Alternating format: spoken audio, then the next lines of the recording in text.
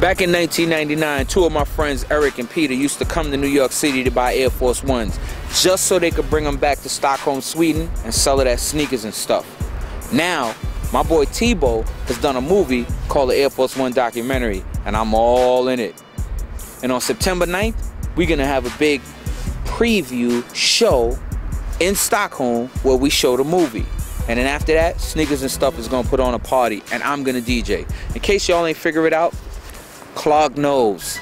is Brooklyn's finest, the New York Giant, God's favorite DJ. And on September 9th, Stockholm, Sweden, I'm gonna come and I'm gonna murder that party. And I'm gonna murder that party in a way that you don't understand. Sneakers and stuff, my boy Thibaut in Stockholm on September 9th. DJ Clark Kent, Brooklyn's finest, New York Giant, God's favorite DJ, Team ATF representative. You heard me.